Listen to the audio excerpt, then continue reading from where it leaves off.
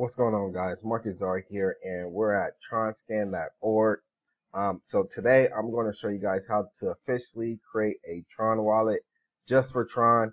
So we're going to do this by going to this where it says open wallet by clicking on that. Then we're going to go ahead and create on wallet.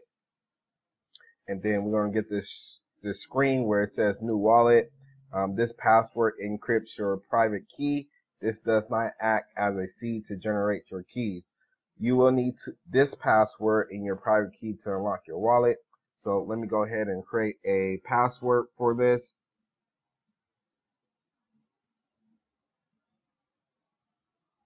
I'm gonna go ahead and hit next. Download encrypted key. It says do not lose it. Tron Foundation cannot help you recover a lost key. Do not share it. Your funds may be stolen if you use this file as a malicious site. Make a backup just in case your laptop is set on fire, right? So I'm gonna go ahead and hit never. So I got it here. Download it. So I'm gonna go ahead and hit next. Um, save your private key. So I'm gonna go ahead and save save my private key because I'm going to need it. Go ahead and save it there. So now I have that saved. I'm gonna go ahead and hit next. And voila, your new wallet is ready. Go to your account page.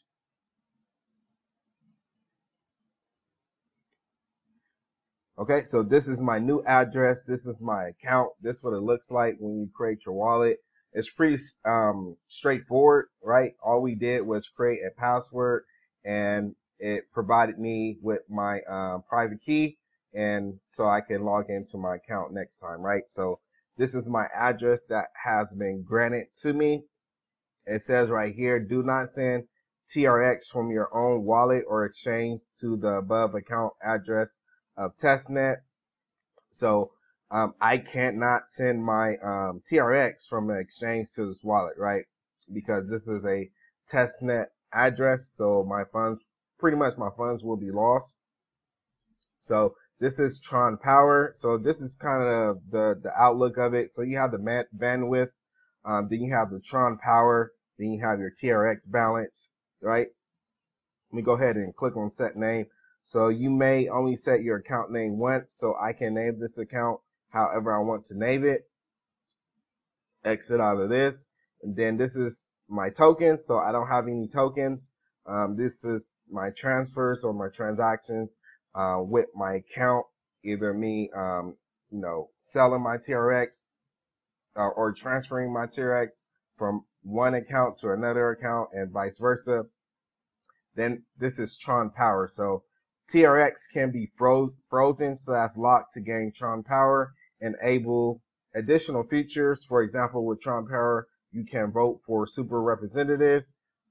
Frozen tokens are locked for a period of three days. During this period, the frozen TRX cannot be traded. After this period, you can unfreeze the TRX and trade the token. So that's pretty cool. Um, just another uh, benefit for why you should own Tron, own Tron, so you can um, gain additional features for um, we're interfering with uh, Tron's blockchain. So I definitely know for a fact down the line it's going to be more things you can do with your Tron power than just voting for um, super representatives, which is something you can do only for right now. Then it goes into details about what a super representative is. Um, you go ahead and read about that. And then this down here, you have the test net. So when requesting TRX, you will receive about 10,000 TRX, which you can use for testing on a test net. You may only request TRX 10 times per account. So it looks like you can't really do anything as far as right now until the whole test net is, is done with, which it should be done now because the main net, which has been launched officially. So, like I said, I will look more into this to make sure everything is good to go to, to see if I can transfer some of my TRX into this address without me losing it. So, uh, with so last thing before I go, I just want to show you guys, you guys probably had questions like, okay, so how does this process work with me logging back into my wallet, right? So I'm gonna go ahead and um, sign out of my wallet. And then I'm gonna go ahead and pretty much go back to the front page and redo the steps, right? By clicking the open wallet button here. I'm going to go ahead and sign in with my private key. So I'm going to go ahead and copy my private key that I have here.